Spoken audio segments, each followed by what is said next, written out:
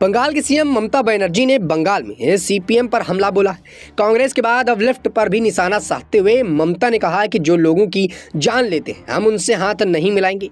CM के वाम दलों के साथ गठबंधन से इनकार कर दिया है। सीट बंटवारे पर बढ़ते मतभेदों के बीच ममता का यह ऐलान विपक्षी गठबंधन को बड़ा नुकसान पहुँचा सकता है। बता दें कि विपक्षी इंडी गठबंधन के टूटने की आशंका के बीच अब पश्चिम बंगाल की मुख्यमंत्री ममता बनर्जी ने कांग्रेस के बाद लेफ़्ट पर भी बड़ा हमला बोला है।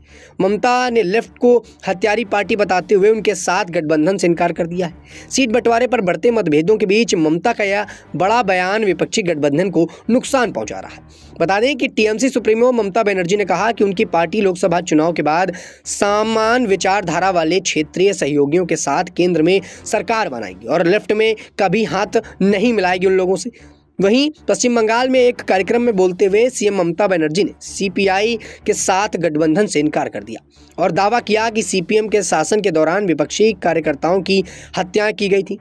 वहीं मैं सभी को आश्वस्त करती हूँ कि हम दिल्ली में सरकार बनाएँगे और केंद्र में हम कैसे और किस तरीके से सरकार बनाएँगे। हम ये लोकसभा चुनाव के बाद समान विचारधारा वाले क्षेत्रीय दलों से बातचीत करने के माध्यम से ही तय करेंगे।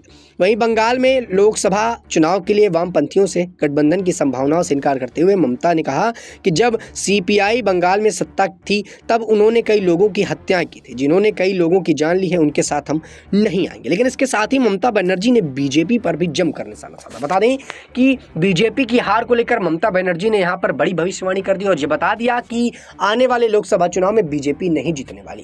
क्योंकि बीजेपी जिस प्रकार के काम देश के अंदर कर रही है, वो पूरी तरह से गलत है। और जनता अब जाग चुकी है, जनता अब सच्चाई के साथ में जाएगी। और लोकसभा चुनाव में बीजेपी को करारी हार मिलेगी। इस बात को लेकर ममता बनर्जी ने काफ़ी बड़ा बयान दे दिया है।